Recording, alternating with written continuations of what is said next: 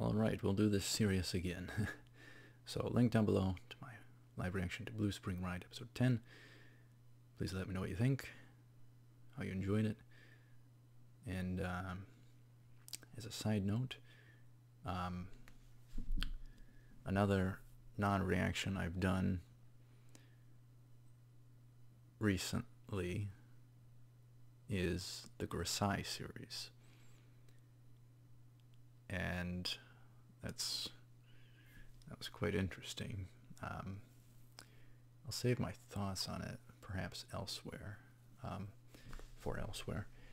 Um, I might I might be up to reacting for the movie. I heard there's a movie. So I might be willing to do that as a reaction. So that would be nice.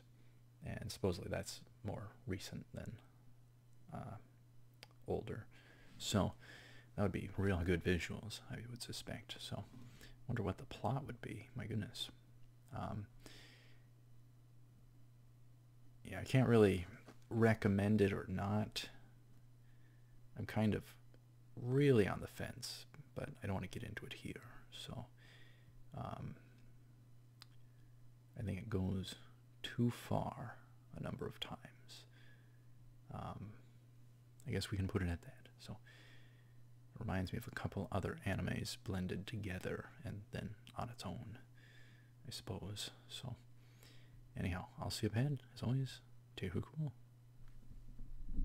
Bye bye.